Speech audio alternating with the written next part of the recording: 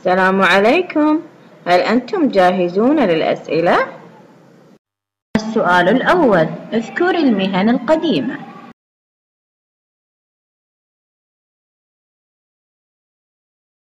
السؤال الثاني اذكري أنواع الأسماك.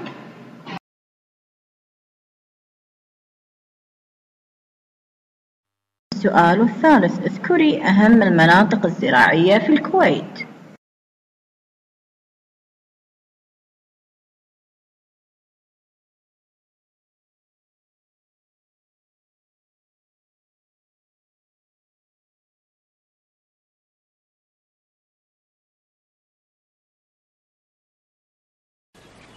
السؤال الرابع. اذكري طاقم السفينة.